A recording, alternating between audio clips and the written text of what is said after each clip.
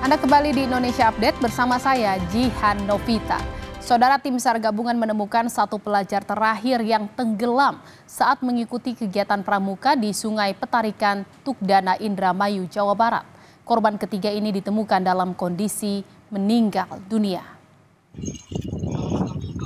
Jenazah korban yang merupakan siswa SDN 1 Lajer Tukdana Indramayu ditemukan petugas di jarak 1 km dari lokasi korban tenggelam.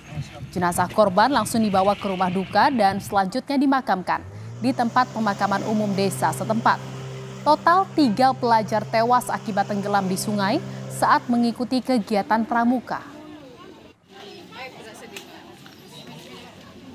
Minggu 18 Februari 2024 sekira pukul 9.15 WIB. Alhamdulillah korban yang terakhir yang ketiga ini dapat ditemukan